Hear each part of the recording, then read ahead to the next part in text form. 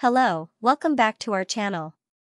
Today, I'm going to show how to work Spin-Y2 directly on VESC, including wiring and programming. The first part is to prepare wiring work. Firstly, we need to find out this 8-pin UART cable, later we'll solder it with Spin-Y throttle cables. Sort out the 5 volts or 3.3 volts GND and ADC 1 corresponding cables. Remove or cut off others to avoid short circuit. Then solder these three cables with Spin-Y2 cables accordingly.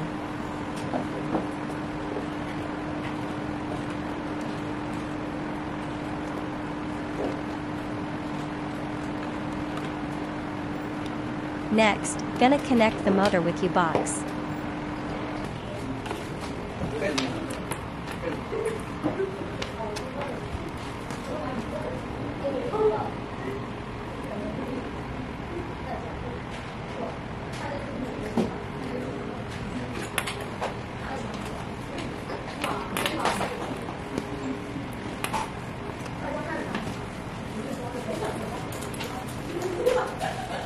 Attention, please double check your wiring before powering on controller.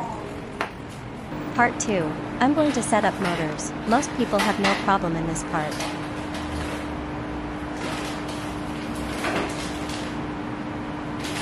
Start it from Wizard, and fill in information according to your actual status step by step.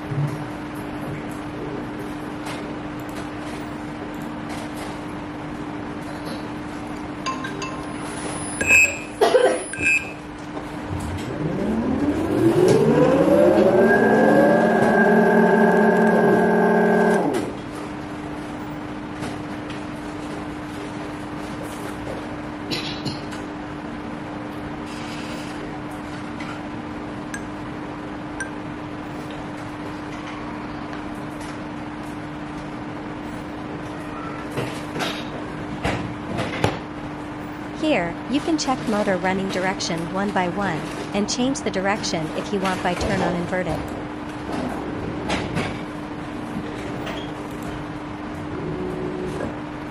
The motor setup is finished, next, we'll move on to setup input.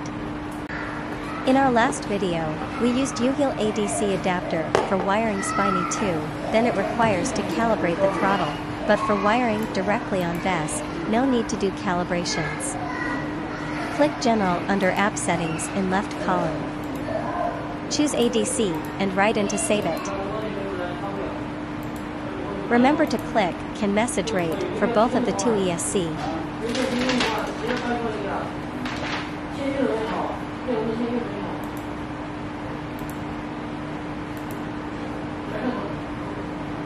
Don't forget to click the local ESC, we will do setup input in local ESC.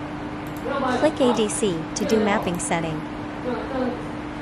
Remember to click RT app so you can see the blue bar changing status. Then push your Spin-Y wheel forward and backward, let U-Box learn its trip mapping. Since it's two-way signal, all is done on ADC 1 channel 1, so no need to do any setup in channel 2. And remember to click apply and write an app to save your setting.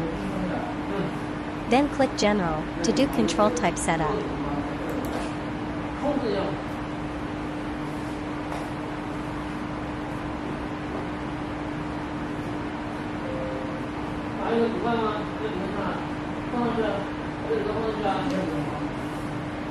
And write an app config.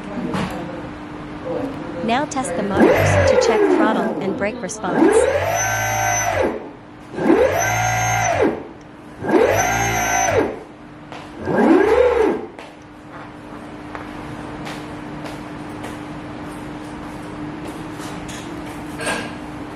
And you can also set the control type to current reverse center mode.